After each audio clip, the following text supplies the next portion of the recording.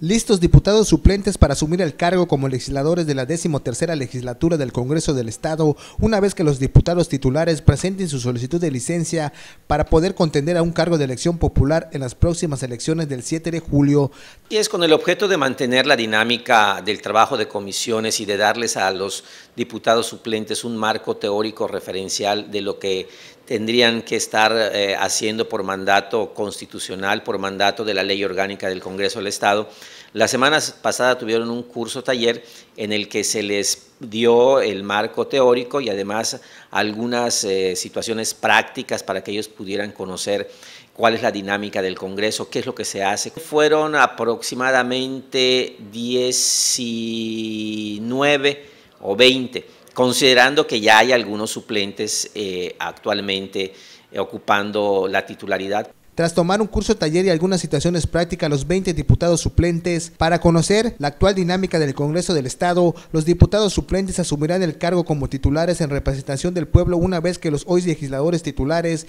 presenten su solicitud de licencia, plazo que vence el próximo 4 de abril. En el caso de los diputados eh, de esta decimotercera legislatura, tendremos hasta el día 4 de abril que es el, día de, nuestra última, de nuestro último pleno, antes de que vence el, término eh, que marca el IECRO. Por eso es que para nosotros el,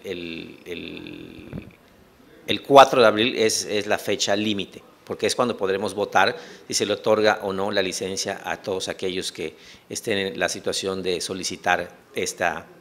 esta, esta licencia. Señaló que este proceso no interrumpirá las actividades de la decimotercera legislatura del Congreso del Estado, el cual presenta grandes avances en materia legislativa. Para Notivisión, José Palma.